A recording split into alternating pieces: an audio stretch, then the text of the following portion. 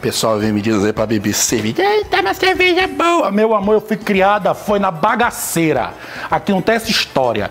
E hoje, pra, fa- por falar em bagaceira, nós somos brasileiros, nós vamos fazer hoje o prato mais icônico e mais básico da gastronomia brasileira. Hoje nós vamos fazer. Hoje não, hoje e no próximo episódio nós vamos fazer arroz, feijão, bife e farofa pra cair o seu da bunda. Então fica ligado. E antes de qualquer coisa, se inscreva no canal, aperta o sininho para você receber todas as informações e as atualizações do Cansei de Ser Chefe da Égua Doido aí no seu celular, no seu computador, tá certo?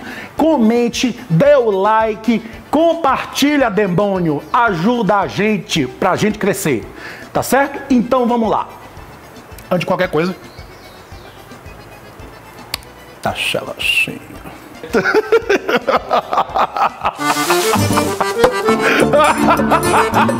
Ai, Marcelo, Tem como muito flores, diferente chama da gente Moça com um rapaz contente, noite sempre é senhora Meu negócio agora é fazer curva no vento Tirando o que tava dentro, botando o que tava fora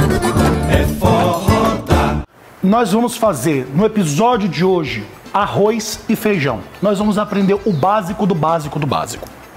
Vamos começar pelo feijão, tá certo? O feijão é uma ah, paixão. Eu acho que arroz e feijão são ah, é é a, a nossa base quase cultural e social e- e- e religiosa gastronômica do Brasil. A questão do feijão é muito pessoal e muito regional. Cada região do país tem um tipo de feijão. E aí você pode fazer essa mesma receita para o tipo de feijão que você gostar. Eu sou do Maranhão, estou morando em Campinas, mas eu gosto de feijões avermelhados. Então hoje eu vou usar o rajado. Se você morar em São Paulo, Rio de Janeiro, Sudeste, você vai ter o carioquinha. No resto do Nordeste você tem o mulata gorda, você tem o, o, o- o jalo, você tem tem vários. Nossa, um monte.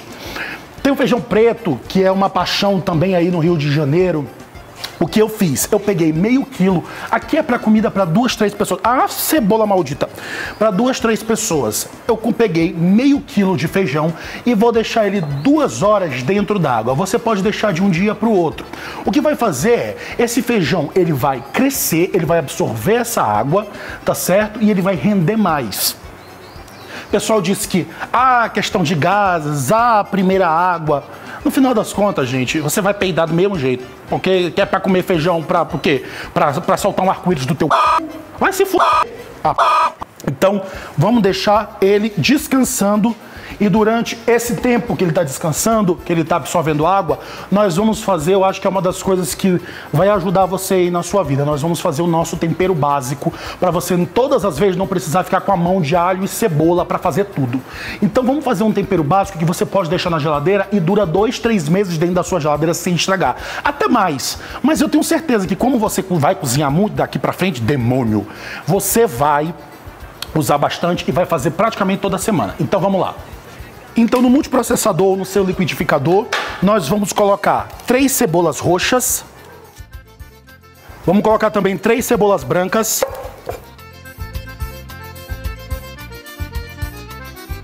Vamos colocar também três cabeças de alho. Parece muito, mas não é. A cada duas cebolas, coloca uma cabeça de alho que vai ficar show.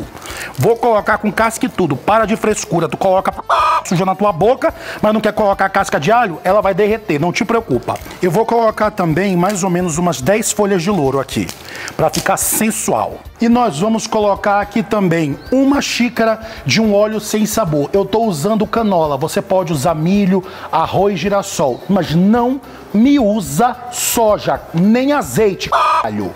E para completar, não é para saborizar, não é para deixar salgado. É só uma colherzinha de chá, só para isso daqui conservar esse tempero dentro da geladeira, o sal.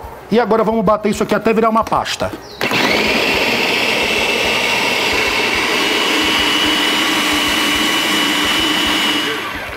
Bateu aqui uns 5 minutinhos e tá pronto. Ficou perfeitinha. Tá certo? Virou. O cheiro disso daqui, gente, é maravilhoso. Você não precisa para se fazer o seu arroz feijão, nada além do que isso daqui. Tá perfeito. Vamos colocar num pote. Se você não tiver um funil, que nem eu que tô aqui, não tem um funil para usar, eu peguei e cortei a bundinha de um copo plástico. Vou colocar aqui, ó, E ele vai me servir como funil. Cagou tudo, mas não tem problema. Cagou menos que cagaria, né, criança? E agora que ele já está no pote, vamos só para manter ele sem contato com ar, para ele não oxidar, para ele não escurecer, para ele manter frescor, o frescor dele mais tempo, nós vamos colocar só um fiozinho de óleo por cima para não entrar em contato com ar. Tá certo? Então toda vez que tu usar e ele abaixar, coloca um óleo para ficar só por cima, aí ele vai se manter durante muito mais tempo. Agora é só tampar e deixar dentro da sua geladeira e você já tem um tempero completo para fazer seu arroz, seu feijão, seu bife, sua, sua, sua desgraça toda, para cozinhar mesmo. Agora que o nosso feijão já passou o tempinho já, olha menino, tem um feijão preto aqui dentro, vai continuar aqui. O nosso feijão já descansou. O que eu vou fazer? Eu vou tirar essa água, vou trocar essa água, tá certo? Porque essa água tem muitos nutrientes, tem muitas, tem muitas proteínas que não são boas e realmente dão gases. Vamos trocar. Na nossa panela de pressão, as pessoas têm medo de usar panela de pressão. Panela de pressão, você precisa que ela tenha a borracha sempre nova. Se essa borracha estiver torta, pode ser que ela vaze e exploda.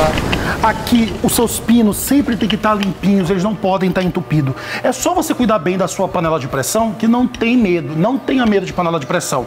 Só saiba usar. O que nós vamos fazer hoje é, nós vamos colocar aqui então meio quilo de feijão rajado, 2 litros de água, quatro folhas de louro. E nós vamos utilizar a pele do bacon que foi dado pelo Empório Novilho. Claudemir, te amo, minha vida. Obrigado mesmo por esse bacon maravilhoso. Vocês são da.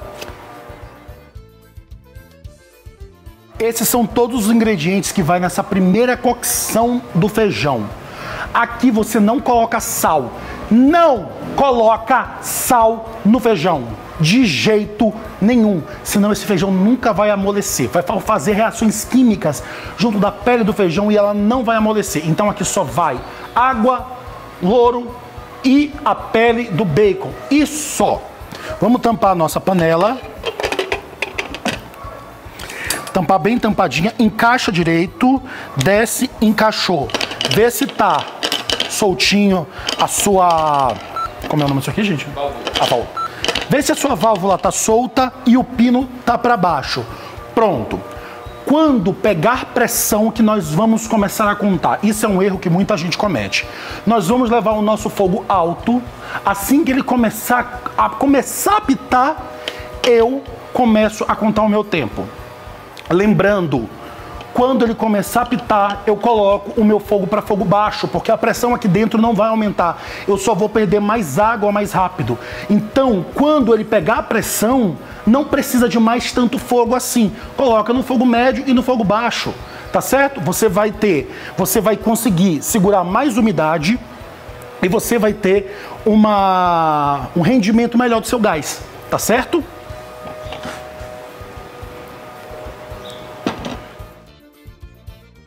E enquanto o feijão está terminando de cozinhar, vamos fazer nosso arroz.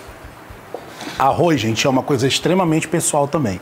Tem gente que gosta do arroz bem branquinho e bem soltinho.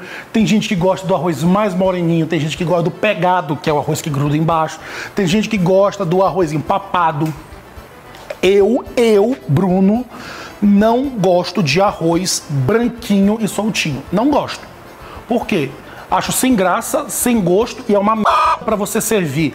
Faz uma sujeirada do o que eu gosto. Eu gosto de um arroz bem temperado, mais amarelado porque ele teve refogado e eu gosto dele um pouquinho mais mole, não é empapado. Eu também não gosto de arroz empapado. Eu gosto de um arroz um pouco mais menos solto. Seria isso. Então eu vou te ensinar a minha técnica eu vou te ensinar como fazer as outras. Então vamos lá. Eu vou pegar uma panela, a nossa panela de ferro, vou colocar no nosso fogo. Depois que a gente colocar a nossa panela no forno, eu vou usar uma gordura, no caso eu vou usar um pouco de banha aqui.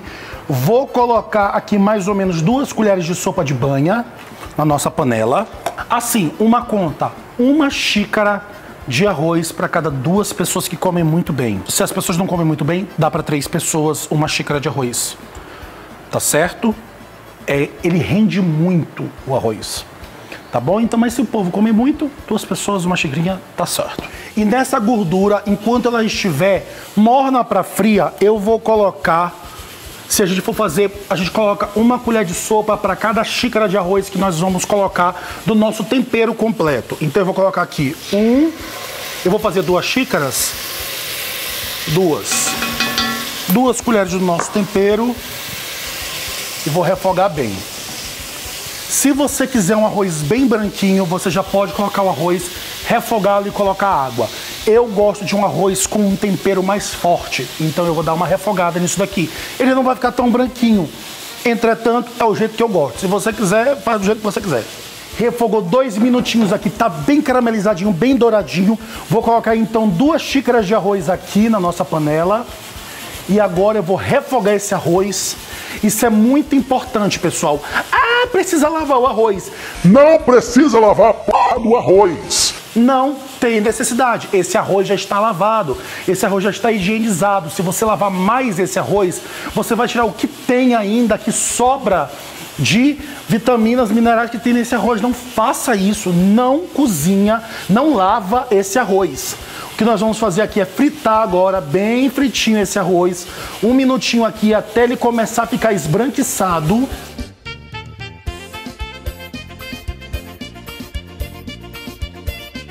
Aqui vou colocar agora a nossa água. Ah, precisa colocar água quente. Não precisa, eu estou usando uma panela grossa, uma panela de ferro. Ela vai esquentar a água muito rápido, então seria desnecessário. Se eu utilizar uma panela fina, pode até fazer, mas não tem necessidade, gente.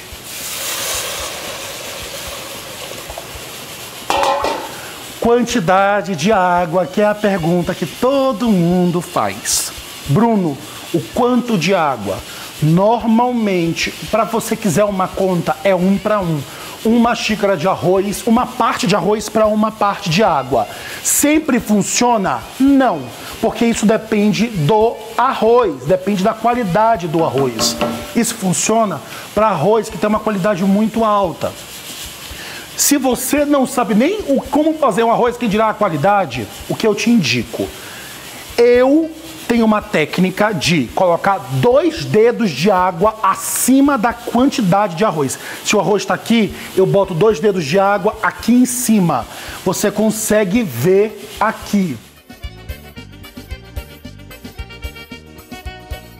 E como eu consigo ver isso? Na hora que eu coloco a minha espátula, a minha colher e empurro o arroz da ponta para o meio, ele só vai sair e aparecer quando chegar bem no meio. Ele vai sair da água. É o ponto perfeito de água para o seu arroz. Quantidade de sal também. Também é sempre uma pergunta. Bruno, qual é a quantidade de sal? Uma colher de chá rasa de sal por xícara. Não vai ficar salgado, para falar a verdade. Como você sabe que tá bom de sal, você tem que provar a água do arroz logo no início.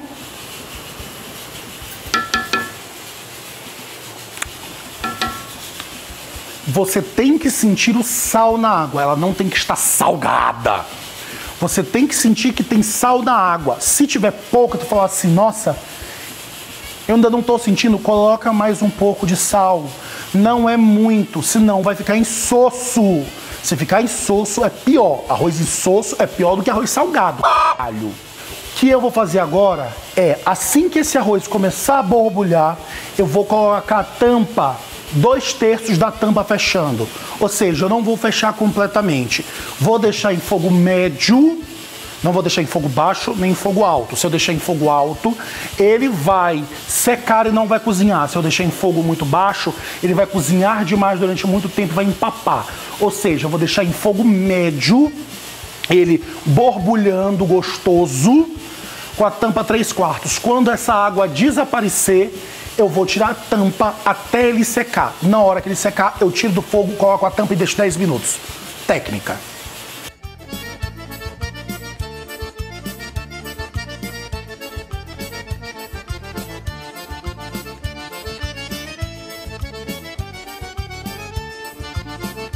Secou, vou tirar do fogo o nosso arroz. Olha que coisa linda que tá isso aqui. E agora eu, o que eu vou fazer? Para quem gosta do pegado, pode deixar mais tempo, mas o meu já tá, ó, cozidinho. O que eu fiz? O que eu vou fazer agora é dar só uma mexida, tampar até a hora de servir, pelo menos 10 minutinhos tampado, que aí ele vai ficar perfeito. Confia em mim. Nosso feijão cozinhou por 40 minutos e agora nós vamos tirar ele do fogo e tirar a pressão.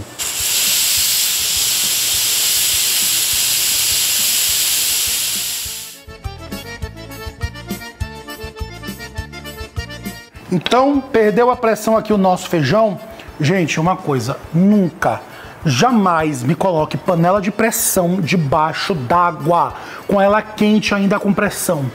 Você pode dar um choque térmico tão grande nesse aço que esse aço pode entortar e explodir na sua cara. Não faça isso. Por mais que não exploda na primeira, na segunda, na terceira, esse aço ele vai perdendo a força, vai estourar. Uma hora ele vai estar com pressão, ele não vai ter mais força, ele vai explodir.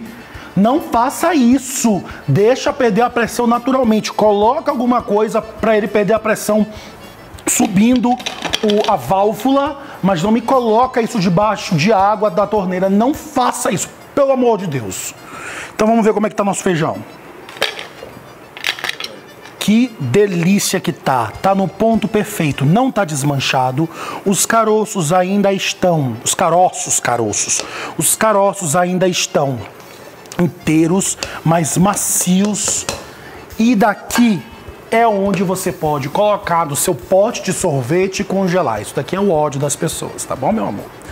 Daqui, por que, que a gente congela daqui? Porque os grãos ainda estão juntos. Se a gente congelar ele depois que ele já está pronto, que agora isso aqui é a primeira parte do cozimento, ele vai dissolver. Ou seja, isso aqui você pode fazer sem tempero, sem nada e guardar guardar no seu pote de sorvete e enganar os trouxas da sua casa. Tá certo? Vamos para a segunda parte do nosso feijão. Agora que o nosso feijão já está cozidinho, certinho, tá certo? O que eu vou fazer? Nós vamos agora finalizar o nosso feijão. Vou pegar a nossa panela, no caso, nosso caldeirão. Vou colocar no nosso fogo. Égua doido. Isso vai ficar bom, hein? Essa panela de ferro, esse caldeirão de ferro. O que nós vamos fazer agora? Nós vamos fazer um feijão gordo. Então eu vou usar lá do nosso Empório Novilho, Claudinho, já te falei que eu te amo, te amo muito mais. Então deu linguiça calabresa, nós vamos utilizar, então, para meio quilo, nós vamos utilizar mais ou menos 200 gramas de linguiça calabresa e 200 gramas de bacon. Vamos tirar o invólucro da linguiça.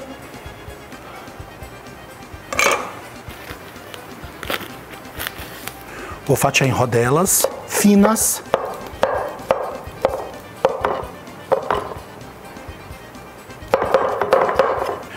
E o bacon eu vou cortar bem pequenininho.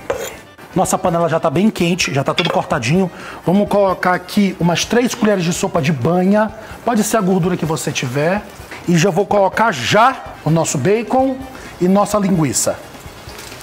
Enquanto está refogando o nosso bacon e nossa linguiça, eu vou tirar do nosso feijão ah! a nossa pele que estava cozinhando lá dentro. E para a gente ter aquele feijão grosso, gostoso, medonho mesmo, aquele feijão bom, grosso, bonito, nós vamos pegar duas, duas conchas do nosso feijão, colocar no nosso multiprocessador ou no liquidificador, colocar um pouquinho do caldo e nós vamos bater e transformar isso aqui num purê. Isso aqui vai ser o espessante do nosso feijão. Isso aqui que vai deixar aquele nosso feijão bonito.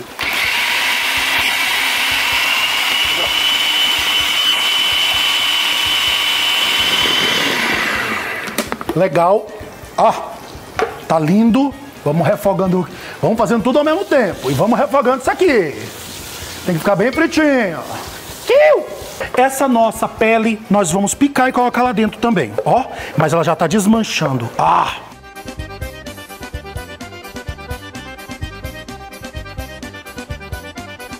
Agora tá bem fritinho, tá explodindo tudo aqui, já tá espumando.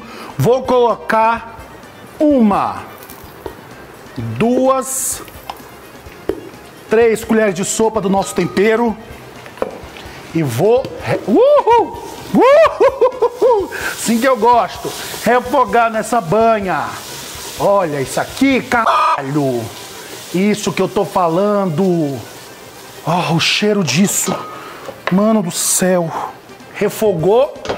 Vamos entrar então com o nosso feijão já pré-cozido.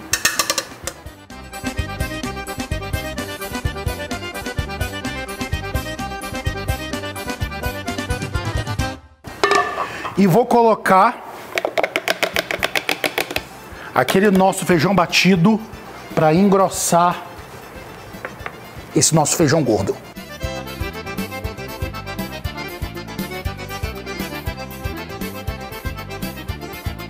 Nosso feijão incrível. Olha esse caldo. Olha isso aqui, ó. Grosso. Um caldo bonito. Cozinhou por 10 minutinhos depois que a gente colocou as coisas. E agora vem o tempero disso daqui. Muito pessoal também. Daqui você já tem o, o sal da linguiça e do bacon. Mas falta um pouquinho. O que eu vou colocar? Eu vou colocar aqui mais ou menos uma colher de chá de sal. Eu creio que seja o suficiente, porque nós já temos sal na farofa, nós já temos sal no arroz. O feijão, ele já está temperado. E aqui eu vou colocar o meu tempero nordestino, que eu gosto. Eu vou colocar uma pontinha, um terço de colher de chá, uma pontinha mesmo, aqui ó, de com... isso aqui é tempero seco do Maranhão. É cominho torrado com pimenta do reino preta e moído. É só, é uma pontinha de cominho com pimenta do reino.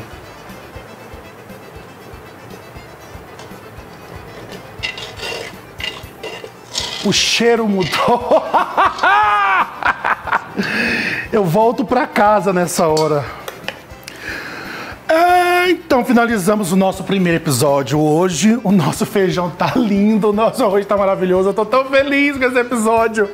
Se você soubesse o quanto eu queria fazer, o quanto o égua doido vai me libertar pessoalmente de mostrar para vocês coisas que eu amo fazer, que é cozinha brasileira. Isso é comida. Eu amo fazer comida de verdade para vocês. Isso é maravilhoso. Ó, esse feijão. Hum. E o nosso arroz, deixa eu mostrar para vocês como fica o nosso arroz, ó. Ele não fica todo grudado. Ao mesmo tempo, ele também não vira uma farofa. Ele fica, ó, e ele fica.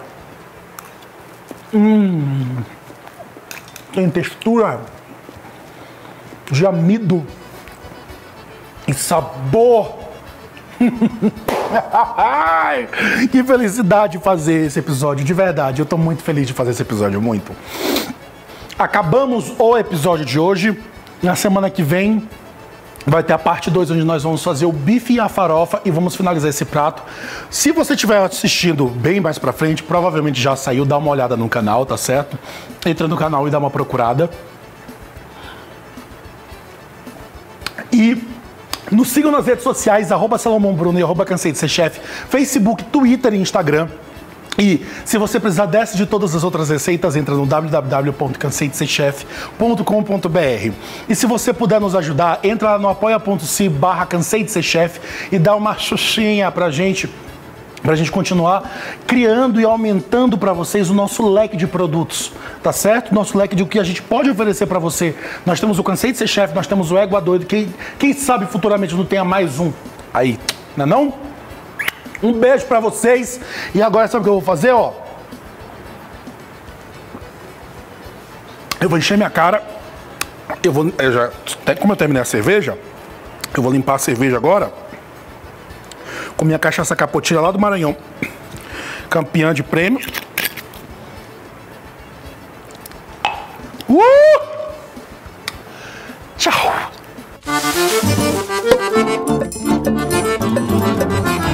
Tem forró que rola, sinfone chama da gente Moça com um rapaz contente, noite sem pressa Senhora, meu negócio agora é fazer curva no vento Tirando o que tava dentro, botando o que tava fora É